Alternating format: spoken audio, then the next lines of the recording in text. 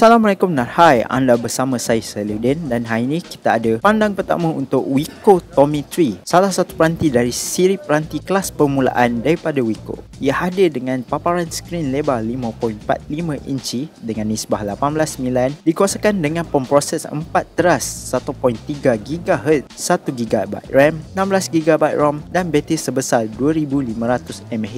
Peranti ini juga menyokong 4G LTE dan menjalankan Android Oreo 8.0 versi Go di bahagian hadapan terdapat sebuah kamera 5 megapiksel manakala di bahagian belakang terdapat kamera utama 8 megapiksel Penggunaan peranti ini terasa lancar walaupun dengan spesifikasi yang asas dan beberapa aplikasi Google versi ringan seperti YouTube Go dan Maps Go turut ditawarkan di dalam peranti ini. Peranti ini masih menggunakan sambungan dan sistem pengecasan melalui micro USB 2.0.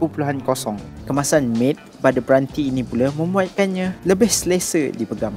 Peranti ini bakal dijual pada harga 99 euro iaitu bersamaan dengan 477 ringgit Malaysia.